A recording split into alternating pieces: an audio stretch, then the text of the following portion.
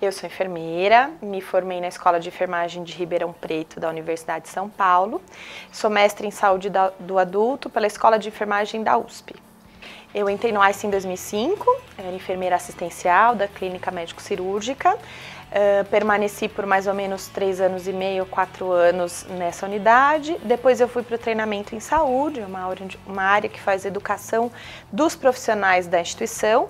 E eu estou há três anos na faculdade como docente. O curso de gerenciamento foi montado de acordo com as competências necessárias para o enfermeiro tanto na liderança enquanto equipe, então o enfermeiro é líder de uma equipe e a partir daí ele precisa de algumas competências, algum, alguns conhecimentos, e também na, nas competências do líder formal, então coordenador, supervisor. A gente mapeou essas competências, né?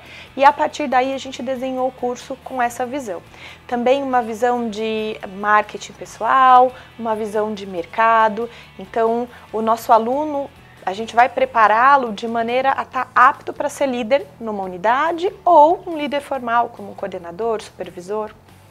A pós-graduação em gerenciamento tem um, um, curso, um conteúdo bastante atualizado. Uh, nós temos atividades práticas, então na simulação realística em sala de aula, quando a gente traz cases para discutir então com os alunos, sempre tutorado pelo docente, para fazer essa discussão da melhor forma de conduzir um problema, de conhecer melhor as estruturas do hospital ou da unidade onde ela trabalha. Uh, a gente tem estágio, os estágios são realizados aqui dentro do Einstein, em diversas áreas, onde o aluno acompanha o gestor da unidade. Então ele consegue ter uma visão bem ampla do papel do gestor dentro da nossa instituição. Ao final do curso, o aluno ele vai ter conhecimentos a respeito de dimensionamento do pessoal, gerenciamento de custos, gerenciamento de materiais, de equipamentos, essa visão mais macro, que é importante para o enfermeiro, e também das competências necessárias para ele conduzir problemas assistenciais, problemas administrativos. Então, serve para o enfermeiro assistencial, para desenvolver as competências como líder.